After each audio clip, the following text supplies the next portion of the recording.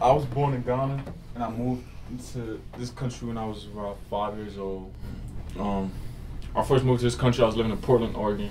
My father was going to um, Pacific University, and he ended up getting kicked out of college after our second year here. So then he basically had to get dropped out. But him dropping out of college was going to mean we were basically legal here illegally. I ended up moving to Jersey. My mom couldn't work. I couldn't work. Like we had our own place, but it was like we couldn't even we weren't even eligible for like no Section 8, no nothing. You couldn't get no type of help or nothing like. And so my mom like basically had to like keep asking people for help and stuff like that, and I got tired of seeing that. So I just started selling drugs slowly, and then I was able to do what I can and to take care of my family. And when one day, well, I got my girlfriend pregnant, but one day she went to work. I ain't had no drugs to sell. I was selling for about two weeks.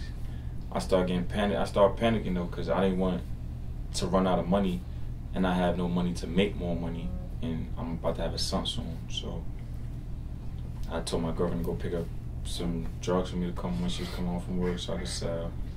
But the regular person I had to get drugs from wasn't there, so I gave it someone else to go get it from.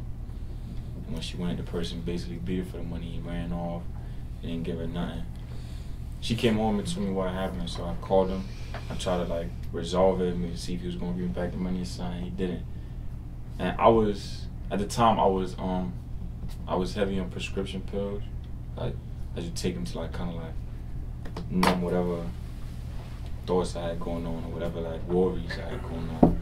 So I was high at the time. I was off like Xanax pills. And I was on the phone with him and he just kept getting loud. I just remember myself keep getting I just kept getting mad. I hung up the phone.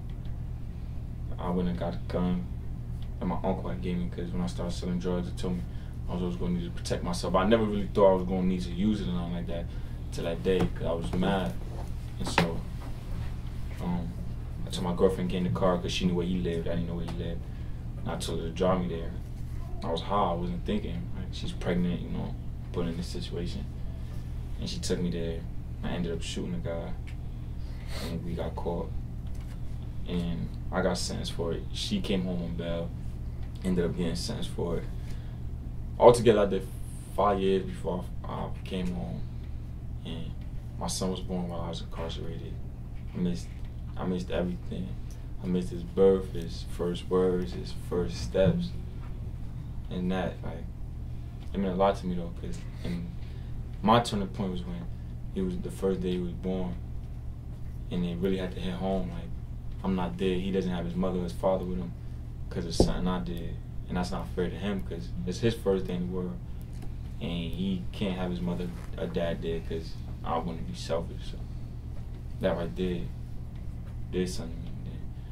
I had to start thinking before I made choices. I had to tell myself I gotta think. You know, it's not anything I do now is gonna affect them. It's not just about me no more.